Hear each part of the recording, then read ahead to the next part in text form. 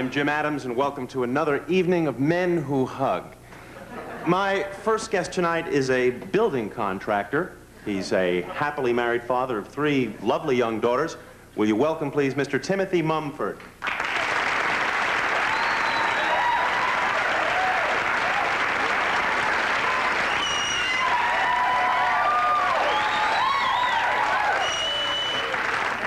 Tim, welcome to the show.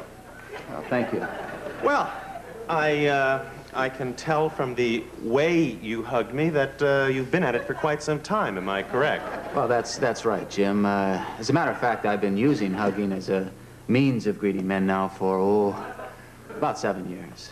Well, I could, I could tell you uh, didn't pat me on the back when we hugged. That's Right. the sign of someone who's comfortable with his embrace. Well, yes, that's right, Jim. Uh, see, a beginner will use the quick pat on the back technique to remind the other person that it's just a chummy hug, nothing at all sexual. Ah, now there's, there's the biggest bugaboo, if you will, isn't it, Tim? This getting over this fear of uh, appearing to be, or actually even being, homosexual. That's right, Jim. Uh, unfortunately, we do live in a society that makes homosexuality a burden that many of us aren't prepared to carry, and therefore we resist doing anything that might imply homosexuality. Such as hugging other men. Right, or even uh, sitting on another man's lap.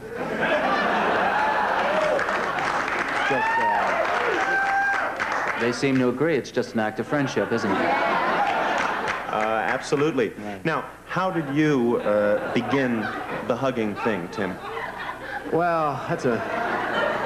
I, uh... I, uh...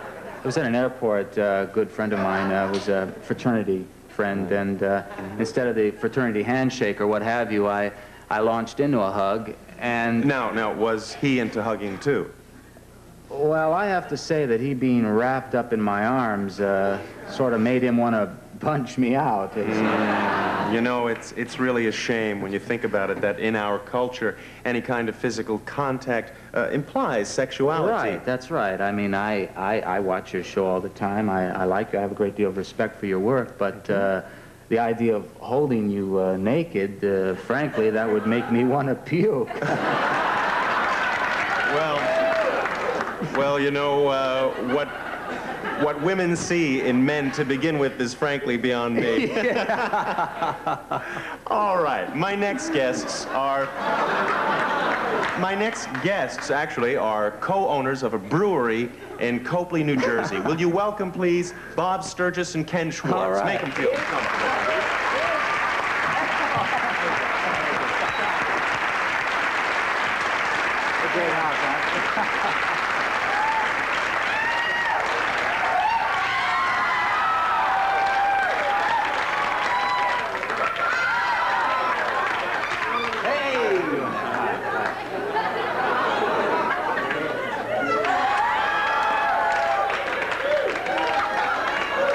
Over here? All right, Well, gentlemen, I Uh, Here we are here.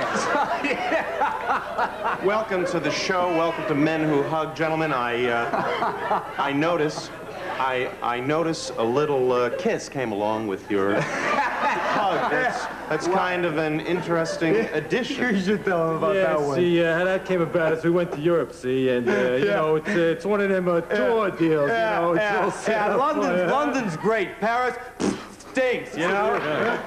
but it seems, you know, it seems like the men hug a lot over there, and we figured, what the hell? what are you. Let's give it a shot, huh? Yeah. Of course, uh, I didn't think uh, Paris stunk as much as Bob did Ah, over here. come on, Ken, come on, come on. Well, anyway. Tim, I, I I guess you and I are just gonna have to uh, get with it. I guess so. I... Oh, wait a minute. Hey, don't get me wrong here. I mean, just because they kiss a lot over there doesn't mean they're with it. Yeah, for example, uh, over there, they uh, men don't go dancing with each other. Nah. Uh, uh, Dancing. oh, yeah. Yeah. Ken and I love dancing. I Oh, mean, yeah. you got uh, you got some music here? Well, sure. I guess. Susan, could we have a little something over there? Yeah, uh, something slow, huh?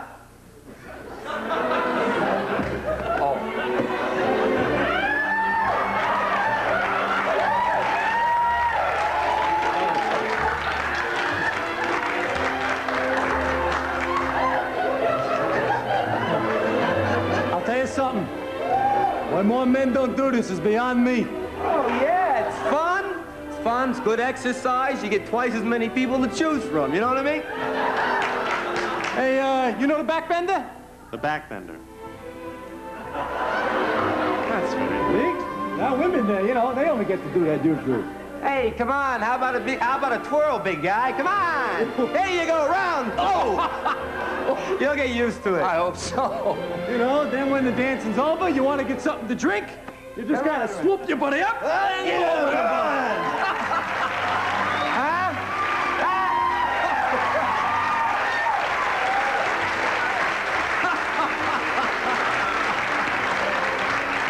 Well, well, okay. Uh, this is kind of nice up here.